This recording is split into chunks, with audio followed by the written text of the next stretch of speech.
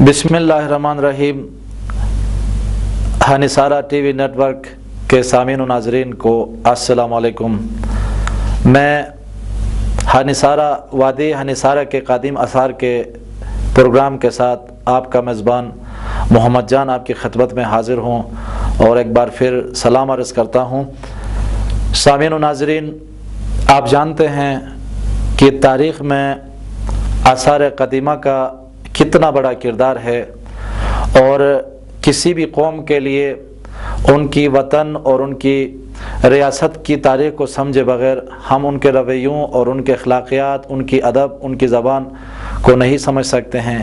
اسی وجہ سے ہم نے کوشش کی ہے کہ ہم وادی ہنسارہ کے اس پروگرام میں ہم یہاں کے قدیم آثار قدیمہ کو دیکھ سکیں اور ان پر غور کرے اور فکر کرے اور ان کو ہم موجودہ زمانے کے سیاق و سباق کے ساتھ لنک کر کے دیکھیں کہ ہماری تاریخ کہاں سے آئی ہیں اور یہاں پہلے کون سے قومیں رہتی تھی، کون سے زبانیں بولی جاتی تھی۔ اس سلسلے میں میں ہنسارہ ٹی وی نیٹ ورک کے منتظمین کا مشکور ہوں کہ انہوں نے اس طرح کا پلیٹ فارم مہیا کیا۔ یقیناً میڈیا کی دنیا میں اس قسم کے پروگراموں سے ہمارے قدیم آثار کو اور تاریخ کو سمجھنے میں مدد ملے گی۔ سامعین کرام اس سے پہلے میں اپنا مختصر سا تعارف کرا دوں۔ میں تاریخ کی دنیا کا اتنا سا طالب علم ہوں اور کوشش کرتا ہوں کہ مقامی تاریخ کو ہم پڑھیں، اس پر غور کریں اور اس کو سمجھنے کی کوشش کریں۔ کیونکہ جب تک ہم اپنی تاریخ کو نہیں پڑھیں گے، اپنے تاریخ سے سبق لینے کی کوشش نہیں کریں گے، تو یقیناً ہم اس معاشرے میں امن، سلامتی اور یکجہتی کے ساتھ نہیں رہ سکتے ہیں۔ اگر ہم تاریخ پر غور کرتے ہیں اور تو کئی پہلو سامنے آتے ہیں۔ ان میں سے خاص کر آثار قادمہ بہت ضروری ہے، کیونکہ اس میں ہمارے سو فیصد مشترکات ہیں۔ آثار قدیمہ کا ایک ہی مقصد ہوتا ہے کہ وہ قدیم لوگوں کی تہذیب، ان کی تاریخ، ان کے رہن سہن اور ان کی زندگی کے ہر پہلو کی عکاسی کرتی ہیں۔ اس سلسلے میں راقیم نے کوشش کی ہے کہ ہم مقامی تاریخ کو پڑھیں اور لکھیں۔ میں نے وادی اشکومن کے نام سے چھوٹی سی کتاب بھی لکھی ہے، جس میں کوشش یہ کی ہے کہ ضلع غزر کے بہت سارے وادیوں میں سے ایک اشکومن ہے۔ اس کی تہذیب، ثقافت، زبان اور تاریخ کے بارے میں لکھوں۔ تو یقیناً دو ہزار نو میں یہ کتاب چھپی ہے اور اس کے بعد میں نے سرزمین غزر کے نام سے یہ کتاب شائع کی ہے، جس میں ہنسارہ کے تہذیب اور تمدن اور تاریخ کو سامنے لانے کی کوشش کی ہے۔ یقیناً یہ کتاب مارکیٹ میں دستیاب ہے اور ہنسارہ کے حوالے سے بہت کچھ تاریخ میں لکھا گیا ہے۔ لیکن اس پروگرام میں ہم کوشش کریں گے کہ ہم آثار قدیمہ کے حوالے سے چند چیدہ چیدہ اہم نکات پر بحث کریں۔ اس کے ساتھ ساتھ میں اخبارات میں بھی، سوشل میڈیا میں بھی، لوکل تاریخ، ادب اور سماجی اور تعلیمی موضوعات پر لکھا کرتا ہوں۔ مجھے امید ہے کہ آپ ان تمام کو دیکھ کر غور کریں گے اور مجھے اپنے فیڈ بیک سے بھی نوازیں گے۔ تو اب ہم بات کرتے ہیں ضلع غزر کی اہم اہم ویلی ہنی سارہ کے حوالے سے۔ اس حوالے سے بہت کچھ لکھا جا چکا ہے اور بہت کچھ تاریخ کی کتابوں میں رقم ہے۔ آپ جانتے ہیں کہ ہماری تاریخ باہر کے لوگوں نے لکھی ہے اور زیادہ تر ویسٹرن متشرقین یا اورینٹلسٹ نے لکھی ہے اور ان میں خاص کر آرمی کے جو لوگ ہیں وہ قابل ذکر ہیں۔ کیونکہ بہت قدیم زمانے میں گلگت بلتستان، برٹش انڈیا اور رشیا کے درمیان میں واقع ہونے کی وجہ سے یہاں گریٹ گیم چلی ہے۔ اس سلسلے میں غزر کو گریٹر یاسین کا نام بھی دیا جاتا ہے۔ یا ہنسارہ تہذیب بھی کہا جاتا ہے۔ اگرچہ یہاں پر ورشگوم پویال اور دیگر کوہ غزر کے والیاں ویلیا وادیاں بھی شامل ہے۔ لیکن ہنسارہ اس حوالے سے مشہور ہے کیونکہ احمد حسن دانی اپنی کتاب میں لکھتے ہیں کہ خاتون کے مقام پر قدیم زمانے میں ایک بہت بڑا ڈیم تھا اور یہ اسی تہذیب کی عکاسی کرتا تھا۔ اور وہ لکھتے ہیں کہ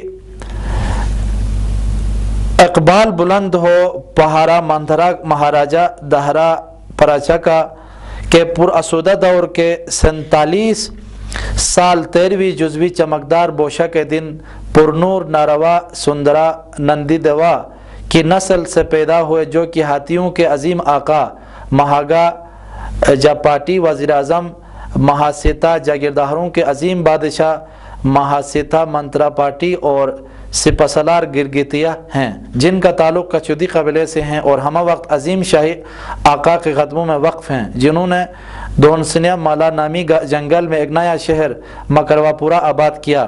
قبل ازی ندی بنام چاٹ شمکا پر ایک بندہ جو کہ ایک ہزار کمیونٹ سہتاس اور فیلاؤ پر گاؤں ہاتونا ضلع ہنیسارا کی فصیل تک ہے۔ بتیس ہزار حتاس تا ازل قائم رہے جب تک چاند سورج زمین ہے۔ یہ والدہ، والد، اہلیہ اور تمام مخلوقات کی فلاح و بہبود کے لیے بنایا گیا ہے۔ یعنی تاریخ اقوام دردستان میں یہ جو نثارہ کے حوالے سے انہوں نے ایک سائن بورڈ وہاں سے ملا تھا، اس میں یہ لکھا گیا ہے۔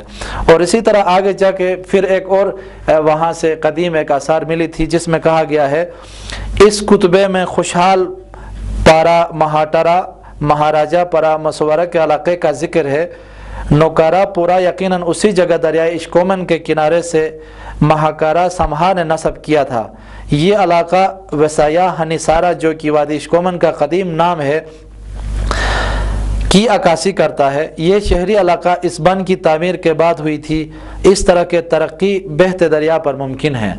تو ان دو اقتباسات سے ہم اس نتیجے پر پہنچے کہ وادی ہنسارہ میں قدیم دور کے بت مت اور دیگر مناظر پرست قومیں رہا کرتی تھی اور بت مت کے جو پیروکار ہے، وہ چائنا سے اسی راستے سے ہوتے ہوئے ٹیکسلا تک اور آگے ان کے جو بہت سارے مذہبی مقامات ہیں، مثال کے طور پر راستے میں بہت بڑے سیٹوپاس ان کے ہیں، یہاں سے گزر رہے تھے اور اس سے پتہ چلتا ہے کہ یہاں قدیم میں بہت بڑی تہذیبی رہی ہیں اس زمانے کے مطابق اور ان تہذیبوں میں یہاں تک کہ انہوں نے اپنے لیے پانی کا بھی انتظام کیا ہوا تھا، تو یقیناً اس سے کھیتی باڑی کو بھی انہوں نے منظم کیا ہوگا، ساتھ میں مالموشی انہوں نے پالا ہوگا اور اس وادی کو انہوں نے زرخیز پایا ہوگا۔ تو یہاں انہوں نے ڈیم تک کی تعمیر کی ہے، جو کہ آج موجودہ زمانے میں بھی ہم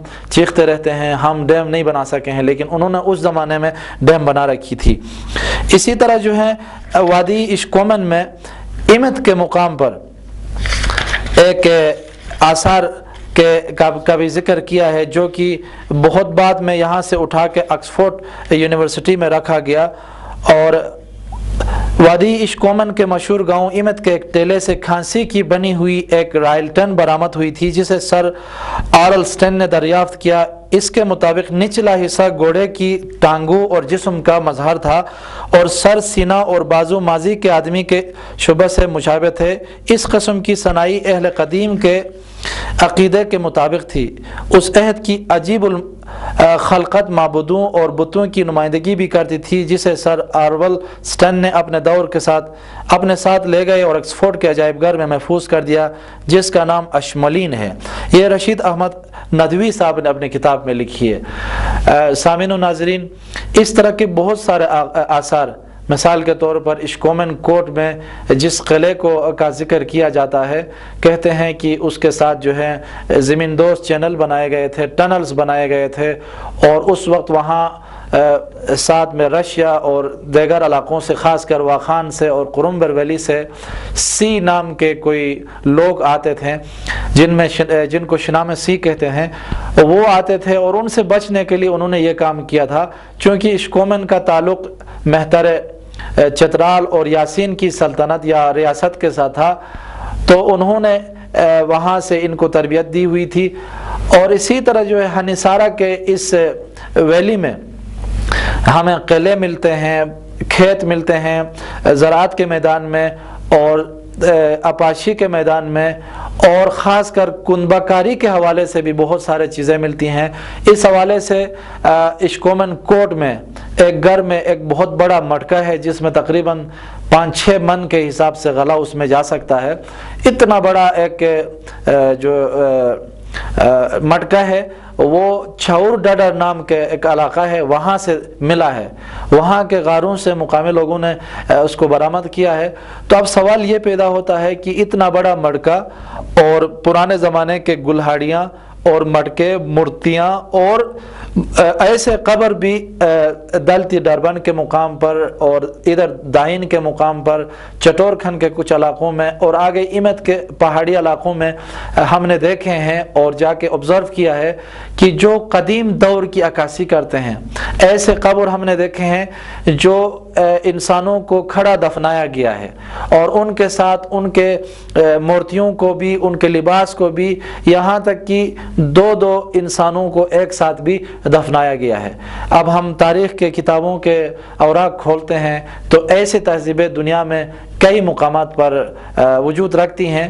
تو اس کا مطلب یہ ہوا کہ اس علاقے میں لوگ رشیا سے، چائنا سے اور ساتھ افغانستان سے بھی آیا کرتے تھے اور ان میں سے کچھ لوگ یہاں پر قیام پذیر رہے ہیں اور کچھ لوگ یہاں سے آگے گلگت سائٹ پہ یا یہاں سے آگے کھوستان سائٹ پہ نکلے ہیں۔ تو گویا اثار قدیمہ میں سے جن چیزوں کا ذکر ہم نے اس نشست میں کی، ان میں سے ہاتون کے مقام پر جس بند کا ذکر کیا گیا ہے، یہ بہت اہم ہے۔ ہاتون کے جغرافی کو جب ہم دیکھتے ہیں، تو آپ گاکوچ سے ہاتون کی طرف دیکھیں گے اور آگے سے جو دماس کا علاقہ ہے یا ہاتون کا علاقہ ہے اور اس طرف سے چٹور خان کا علاقہ ہے، بالکل ڈیلوان ہے اور ایسا ہی لگتا ہے کہ پہلے زمانے میں واقعی ڈیلوان ہونے کی وجہ سے یہاں ہو سکتا ہے انہوں نے ڈیم بنا رکھا ہوگا۔ لیکن یہاں سے جو چیزیں ملی تھی، خاص کر جو سائن بورڈ ملا تھا، کتبہ اور رائل ٹین ملی تھی گلہاڑی ملی تھی اور قدیم قسم کی جو چیزیں ملی تھی، تمام کو جو ہے ان ریسرچرز نے اپنے ساتھ لیا اور برٹش میوزیم تک پہنچا دیا۔ تو سامعین و ناظرین، ہم اس نصیحت میں مزید مزید آگے بڑھتے ہیں۔ تو ہم یہ دیکھتے ہیں کہ وادی اشکومن میں یا ہنسارہ کی ہم دریا کی بات کرتے ہیں، تو اس کے دو بڑے منابع ہیں۔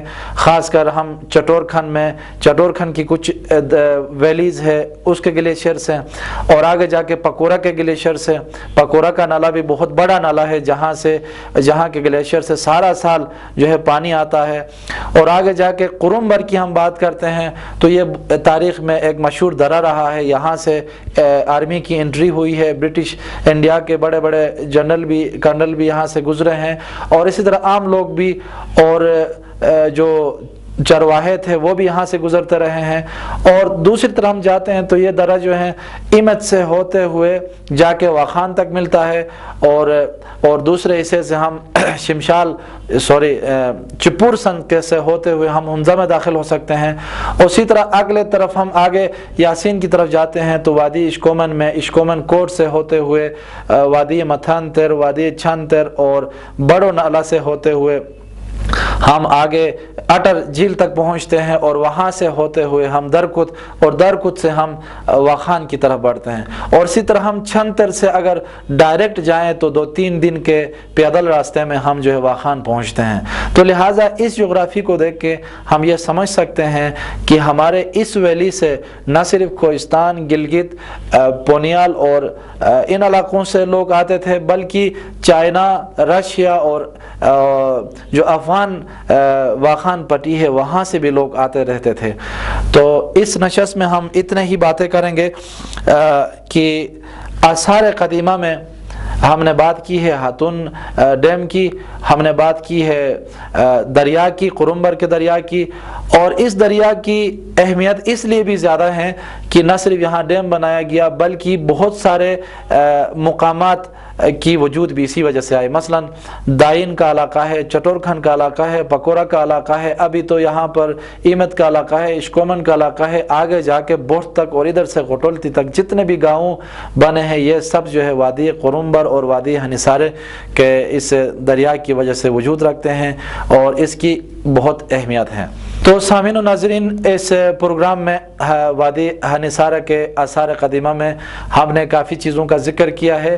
آگے چل کے ہم انشاءاللہ اس علاقے میں کس کس زمانے میں کون کون سی نسلیں رہی ہیں، ان کے زبان، ادب، ثقافت کون کیا تھیں اور ساتھ میں کون کون سے قوموں میں قوموں نے اس علاقے پر یلغار کی ہیں، جنگیں لڑی گئی ہیں آپس میں چپخلشات تھے اور لوکل راجوں نے یا اس وقت کے حکمرانوں نے کیا کردار ادا کیا ہے، اور اس کے ساتھ ساتھ تاریخ میں ہونے والے اہم واقعات میں سے سیاسی حالات، مذہبی حالات، سماجی حالات اور ان کے فن تعمیر کے حوالے سے ہم بات کریں گے اور آگے چل کے ہم یہ بھی دیکھیں گے کہ سراؤنڈنگ کے علاقوں میں جیسے کہ ہم گاکوچ میں بل صفائی کے حوالے سے رسومات تھے جن کا تانا بانا بھی ان تہذیب سے ملتا ہے۔ اسی طرح جڈاؤ ملک، ہم گاکوچ میں ایک بڑا سا غار ہے جس میں لوگ اپنے مردوں کو وہاں پھینک دیتے تھے۔ اس حوالے سے ہم بات کریں گے۔ اور پھر جڈاؤ ملک سندھی میں بھی ہیں۔ تو لہٰذا دیکھیں تو ایک نیٹ ورک ہے، ان کا پھیلاؤ ہے۔ اسی طرح ڈوم اور بوبر بہت مشہور ہے، لیکن ہماری بدقسمتی ہے کہ ہم نے ان کو بحال نہیں رکھا، جس کی وجہ سے وہ اب آثار قدیمہ ختم ہوتے جا رہے ہیں۔ میں تو اس پروگرام کے تواسط سے یہ عرض کروں گا کہ اس قسم کے آثار کو ہمیں بحال رکھنا چاہیے تاکہ یہ آثار ہماری تاریخ بولتے ہیں۔ ہماری ثقافت پر ان کا اثر ہے اور ہمارے رویوں پر ان کا اثر ہے۔ اور اس کے ساتھ ساتھ ہم ہرکاش ببر ایک چھوٹا سا وہاں ایک واقعہ ہوا ہے۔ اس پر ہم بات کرتے ہیں۔ وہاں ایک مورتی ملی ہے جس کو ہمارے ایک انجینئر صاحب یہاں سے اٹھا کے نگر میں نصب کیا ہے اور وہاں جو ہے مرتضابات کے سامنے آپ کو یہ نظر آئے گی۔ اسی طرح اٹھے میں کوئی گاکوچ کے اوپر کا ایک چھوٹا سا گاؤں ہے۔ اس حوالے سے ہم بات کریں گے۔ لنگ چھر سندھی یاسین کے حوالے سے ہم آپ کو بتا دیں گے۔ پھر ڈڈنگ گیری کے نام سے ایک گری جو ہے، ایک چٹان گاکوچ میں مشہور ہے، اس حوالے سے ہم آپ کو بتا دیں گے۔ پھر دلچسپ ایک اور چٹان روئی گیری کے نام سے مشہور ہے، اس حوالے سے ہم آپ کو بتا دیں گے۔ پھر رسم تالینی کے حوالے سے ہم بتا دیں گے۔ بایوش بٹ ہے، ایک جگہ ہے، اس حوالے سے ہم آپ کو بتا دیں گے۔ پھر دومنکھیا ایک رسم ہے؟ گاکوش میں، پونیال میں۔ یہ کیوں تھی اور کہاں سے یہ چیزیں آ گئی ہیں؟ اس حوالے سے بتا دیں گے۔ پھر دوداسین کی کہانی شیر قلعہ میں بہت مشہور ہے۔ اس حوالے سے ہم بات چیت کریں گے اور دوداسین اور مارخور کی کہانی۔ پھر ہلال بٹ کے نام سے ایک پتھر کی کہانی ہے۔ پھر راسائے کور یعنی ایک پہاڑ کے حوالے سے قدیم فنکشنس یا افسانے ہیں۔ پھر بیگنک یعنی رس، بہار کے حوالے سے یہاں پر رسومات تھے۔ اسی طرح خزاں کے میں ہونے والے ہمارے پاس نسالوں کا تصور ہے، شیش و گور کا تصور ہے۔ پھر چونکہ ہمارے لوگ مال موشی پالتے تھے، تو ان کو لے کے گرمیوں میں نالا جاتے تھے اور وہاں تین چار مہینے قیام کرنے کے بعد واپس آتے تھے۔ تو اس دوران بہت سارے وہ رسومات سر انجام دیتے تھے۔ ان رسومات کا ہماری تاریخ میں بہت بڑا مقام ہے، جس کی وجہ سے ہمارے رویوں پر ان کے اثرات ہیں اور آج تک بہت سارے خاندانوں نے ان رسومات کو زندہ رکھا ہوا ہے اور بہت سارے لوگ اپنے زندگی میں ایسی چیزوں سے انٹرٹین کرتے ہیں۔ پھر ہم نسالوں اور شاپ کے علاوہ جو ہیں چرتوئی اور شندور کے ساتھ ساتھ ہم گنجبات اشکومن، چٹورکھن، یاسین اور گپس اور فنڈر کے ساتھ ساتھ بہت سارے علاقوں کے اثار قدیمہ کے بارے میں ملاقات کر بات کریں گے۔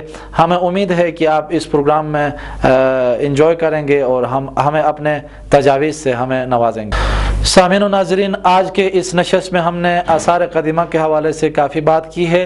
ہنثار کے آثار قدیمہ کے حوالے سے ہم مزید بھی گپ شپ کرتے رہیں گے اور ضلع غزر اور اس سائٹ کے تمام وادیوں سے اثار قدیمہ پر بات چیت ہوتی رہے گی۔ ہم امید کرتے ہیں کہ آپ اس پروگرام کو دیکھیں گے اور آپ اپنے اہم آراء سے اور اپنے معلومات سے ہمیں نوازیں گے۔ ہم آپ کو انشاءاللہ اس وادی کے اچھے اچھے اور قدیم نوادرات کے حوالے سے، قدیم قدیم آثار کے حوالے سے آگاہ کرتے رہیں گے۔ اسی کے ساتھ اس پروگرام سے اپنے میزبان محمد جان کو اجازت دیجیے اللہ حافظ۔